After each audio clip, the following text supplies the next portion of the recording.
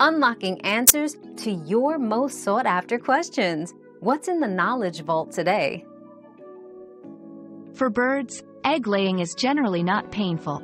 The avian reproductive system is designed to facilitate this process smoothly. However, just like any biological process, variations exist. Larger eggs or health issues can cause discomfort. Overall, nature equips birds with the necessary adaptations to lay eggs with minimal distress, ensuring the continuation of their species with efficiency. Your daily dose of discovery ends here, but the journey of learning never stops. Subscribe and join us again for more answers tomorrow.